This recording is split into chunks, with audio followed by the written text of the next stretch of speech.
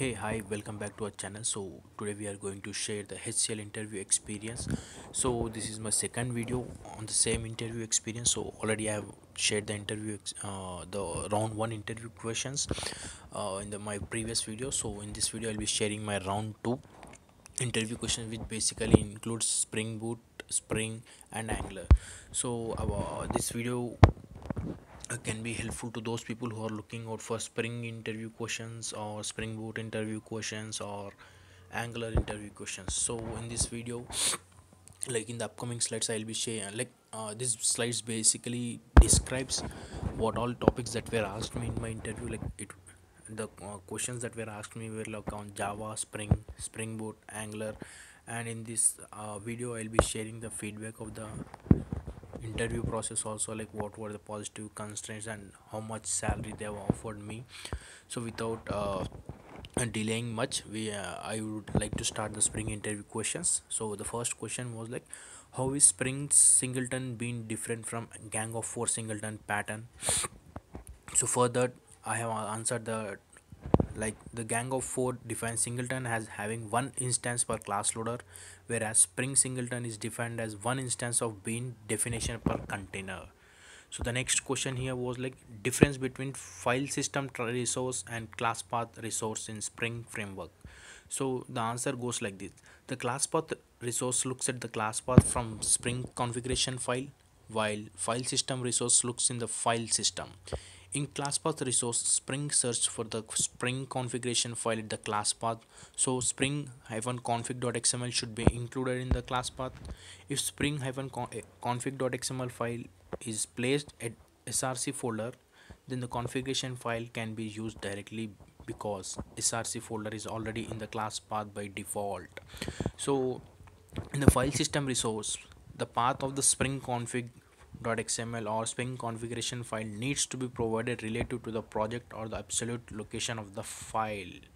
So this was my answer. So the next question was name some of the design patterns used in spring framework. So in at that moment what all i remembered i have tried to explain him. So so basically the, my answer would go like this.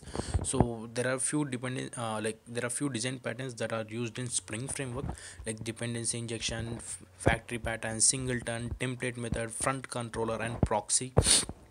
So these are the things that i remembered there can be few others few other design patterns also. So please go through it. Uh, so if I, if I would like if I want to go through the answer then dependency injection is nothing but center to the whole bean or application context concepts factory pattern uh, bean factory for creating instance of an object singleton bean defines in spring config files are singletons by default.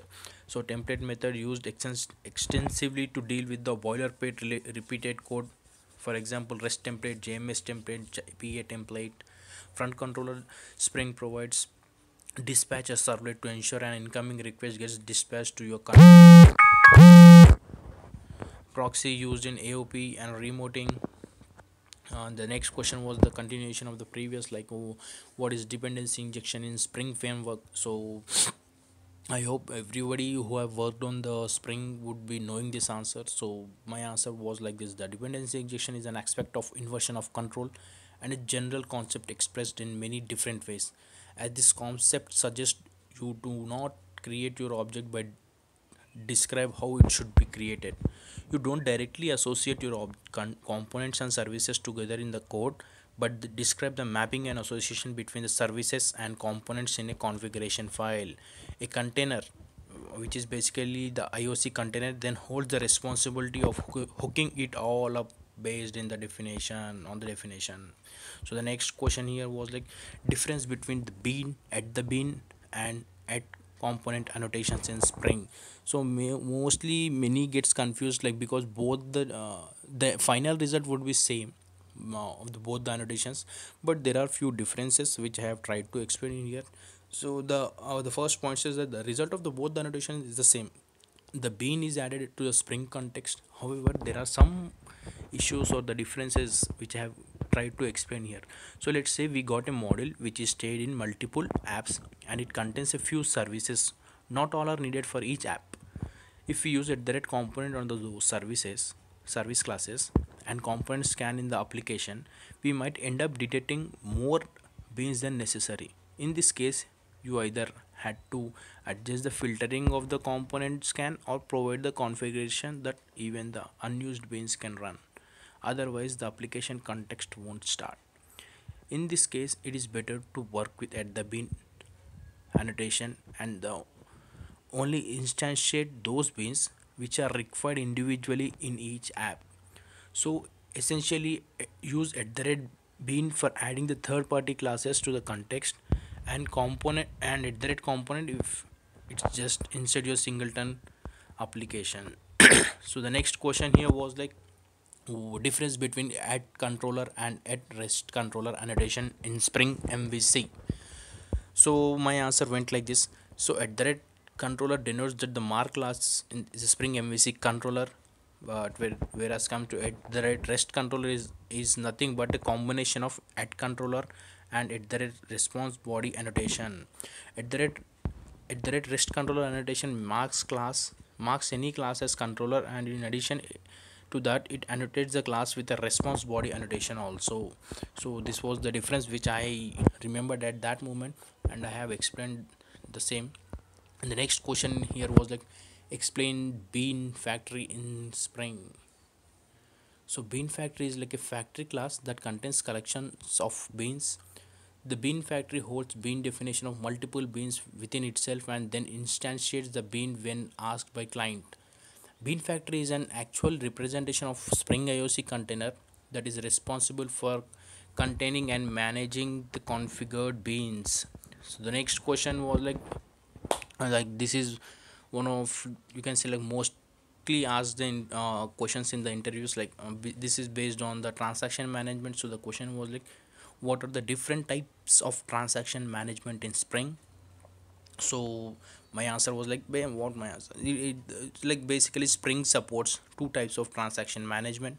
One, one is programmatic transaction management the other is declarative transaction management.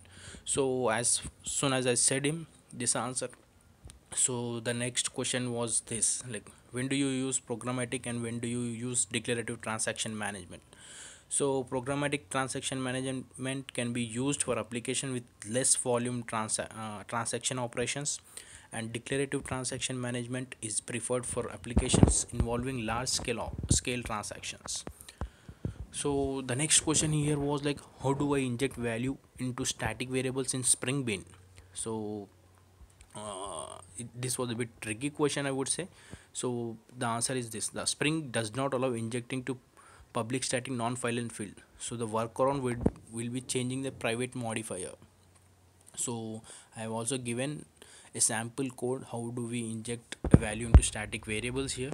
So please go through that.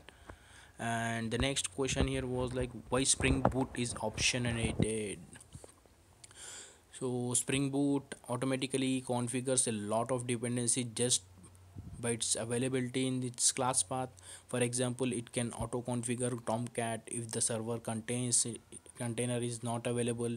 This is why spring boot is optionated because it's auto configured many dependencies. And if if it is not needed and we can override auto configuration settings as needed so the next question here is like what is the role of at the rate spring boot application annotation? So basically this is uh, if, uh, if you are going for spring interview question this is a must known answer. Uh, like basically the spring boot annotation can be used to enable those three features below. Uh, like basically it is a combination of three annotations uh, like at the rate enable auto configuration at the rate component scan at the rate and configuration. So i've also tried to explain the answer. Please go through the answer so the next question here is like how does the devtools provided auto restart works in spring boot? So he was uh, asking me this in detail to explain the answer. So my, my answer was this like spring boot restarts uh, spring boot restart technology works by using two class loaders. So classes that don't change like third party jars as an example are loaded into base class loader. Classes that actively change during deploy, development are loaded into restart class loader so when the application restart the restarts class loader is destroyed and a new one is created. This makes the application restart faster than the code restarts as base loader is already available. So this was my answer. So you can go through google or research on this more to find it more accurate answers. So the next question here was like explain microservice architecture. So uh, at that moment whatever i got i have tried to explain it, it to the interviewer. So i have also given a big uh, answer in this slide itself. If you are uh, aware of the answer please you can continue uh, watching this video or you can halt a, halt the video for a second and you can go through the entire answer. So the next question here was on explain the benefits of microservices. So there are n number of uh, benefits that microservices are providing. At the same time it is providing some few disadvantages also. So i have tried to explain the advantages in this slide. So i would request you to halt this video for a second or for a moment and go through that. I hope everybody should be knowing the advantages of microservices but still if you are not aware you can go through that. So the next question was explain the term statelessness with respect to restful web services. So if you are aware of the abbreviation rest in that st itself defines the state transfer and stateless means complete isolations. This means the state of the client's application is never stored on the server and it is passed on. In this process the client sends all the information that is required for the servers to fulfill the http request that has been sent. Thus every client request and response is independent to each other with complete assurance of providing required information and if we, we say that every client passes a session identifier which also acts as an identifier for each session. So this was my answer for what was the term statelessness with respect to rest.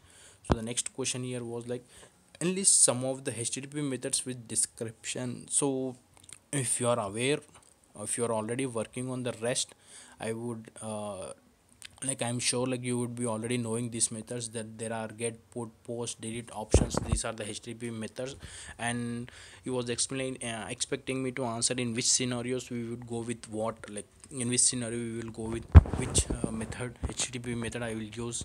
So i've explained him that in detail. And he was also asking me the response like uh, what was the res- uh, response codes related uh, questions also like what does 200 refer to what is 500 refer to what is 403 what is 404 401 and few others. So please brush up on that things also.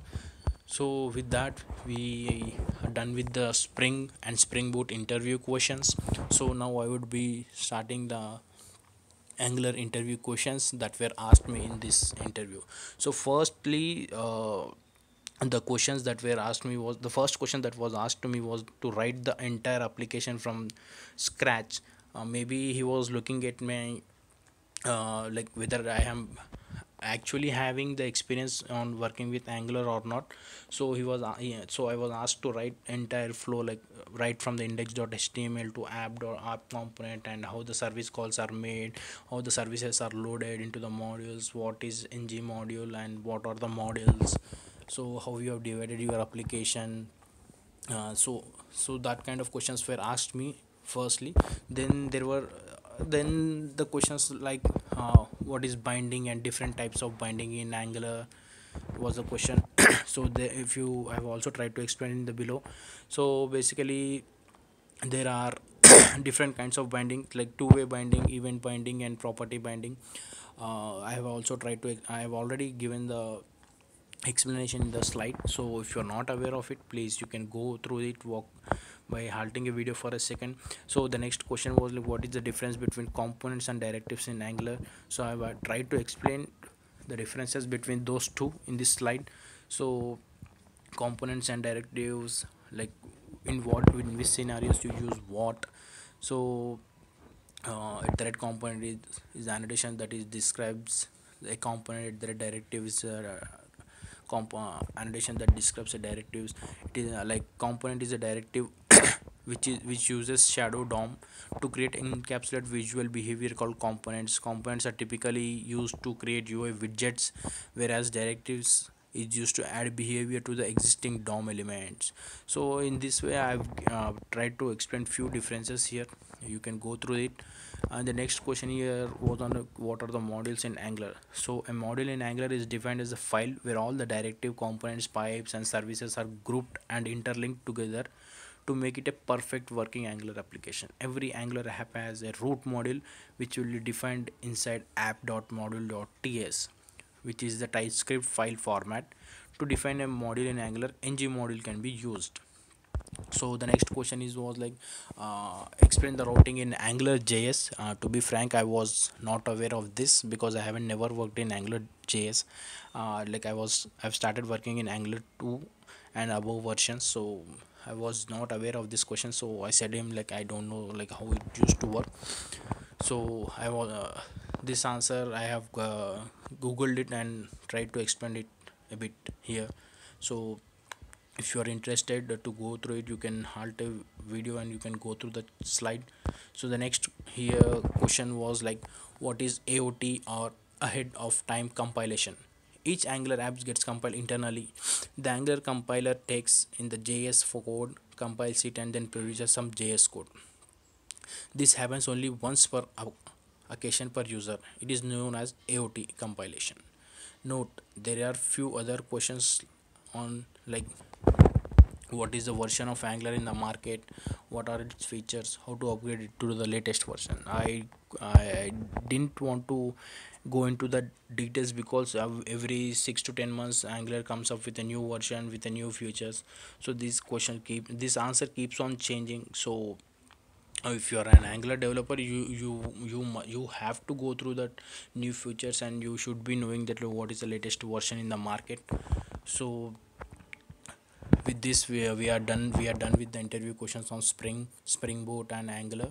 So the next section here i am tried to give the feedback of the interview. Like basically the positives like hr team nicely managed the whole interview process. No lo- long waitings for the interviews like uh, if we go for the interviews there is a huge waiting usually but here it was not the case. So the constant here is was uh, no constant for the second round but uh, there was only a delay in getting the call from hr for package discussion. So the salary that was offered me was like 45% hike to my current package uh, which i think it was a good hike that was given to me. So that's it from the video.